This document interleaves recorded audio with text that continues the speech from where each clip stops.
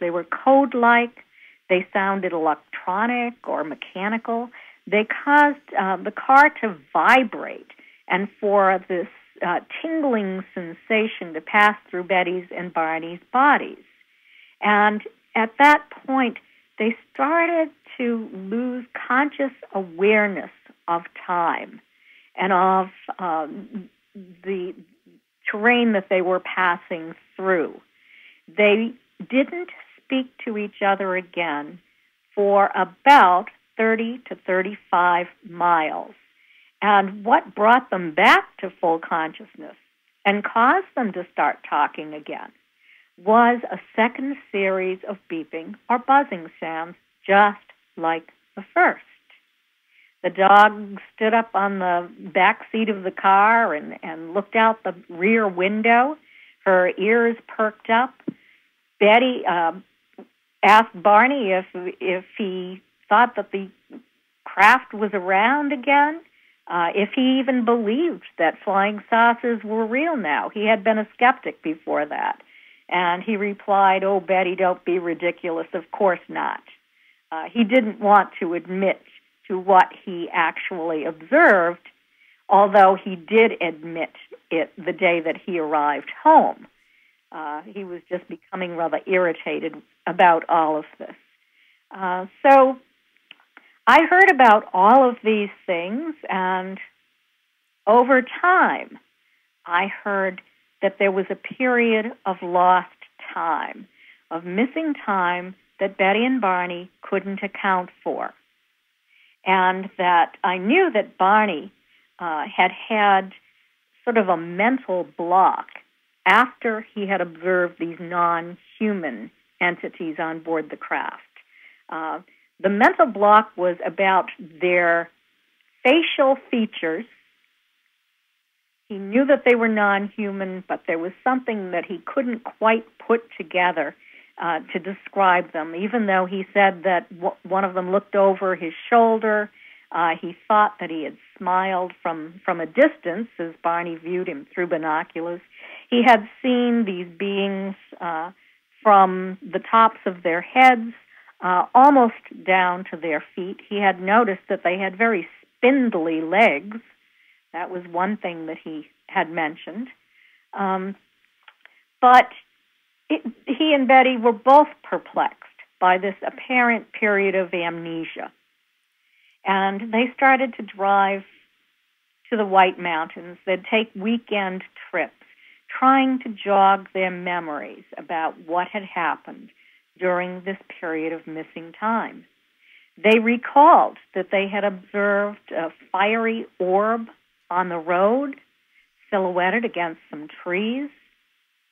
Uh, they recalled uh, encountering a roadblock somewhere along the route, but they didn't know where or when it occurred. What did your mom say to them when they're telling the story? You're there with your mom. What did your mom say to Betty and Barney?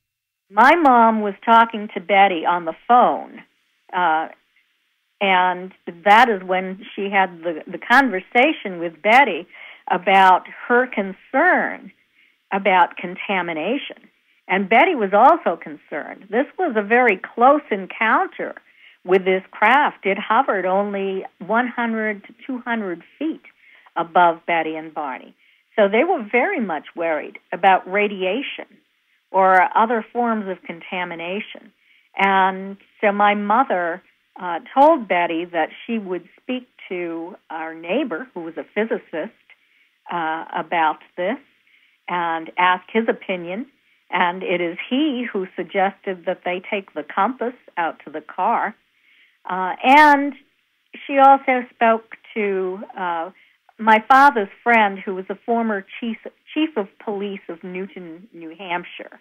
And he recommended that they make a formal report to Pease Air Force Base. Here comes Project Blue Book. But before we get there, what did your dad say to all this? My dad was amazed and very, very interested in all of this. On the day that we went to Betty's and Barney's house, uh, he sat in the living room talking quietly to Barney. And Barney described the non human entities that he saw on board the craft as much as he could remember.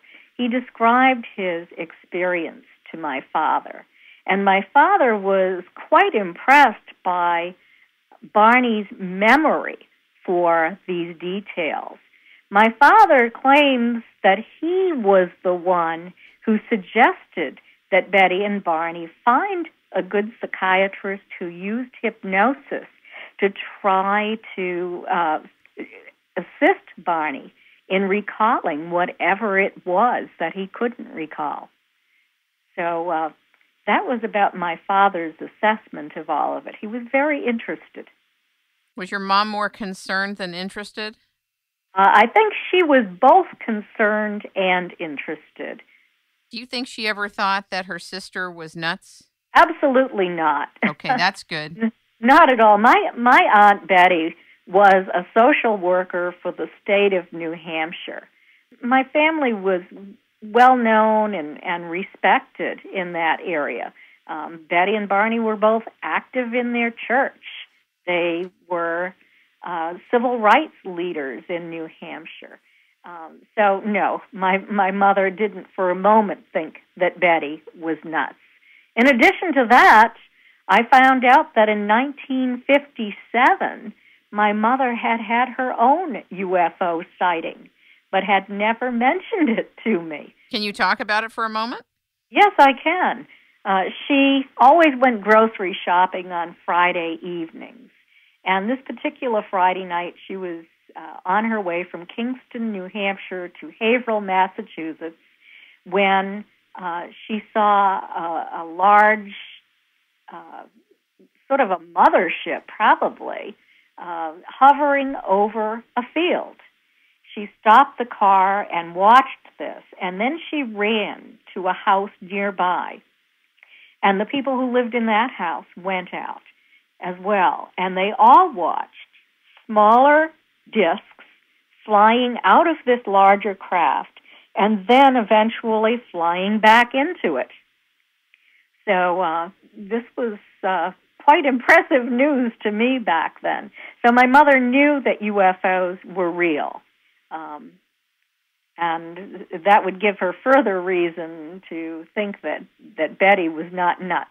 How extraordinary, though, for her to have seen that. And then when her sister and her sister's husband goes through this experience, to have at least had a frame of reference for being able to listen to it. Yes. Now, at the time that you're 13, you're hearing all this going on. Do you accept it? Yes, I did. Uh, I had uh, a lot of admiration for my aunt, uh, who was uh, one of the better educated people in the family, uh, a high achiever, and I always wanted to be like her. Uh, I thought that maybe I wanted to be a social worker for the state of New Hampshire as well.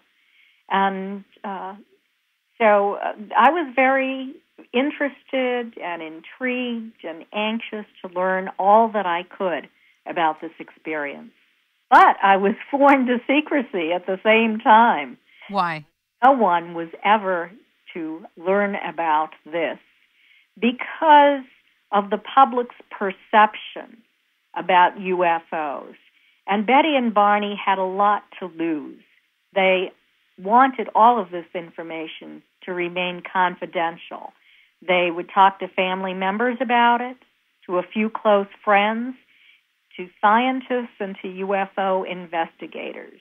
But it only became public through a violation of confidentiality in October of 1965. Which disrupted their entire lives, right? It absolutely did, yes.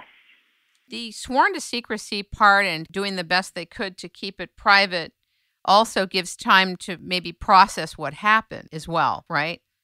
Yes, it did give them and, and the family as well time to process it.